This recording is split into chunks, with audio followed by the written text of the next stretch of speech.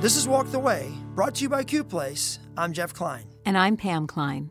Author Bill Mowry writes Everyone has a God theme woven into their lives. The problem is, most people don't recognize it, and few have anyone to help them discover how God's at work. No Christian should enter someone's life and just start spewing about God. So, how do we begin?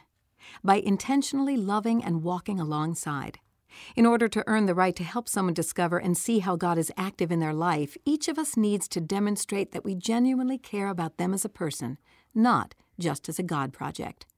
But how to do it? We each can notice things about their life, pray for God's insight into those things, listen with curiosity to what is shared, and let them know that nothing they can say will change the way we treat them. This kind of lifestyle is an art.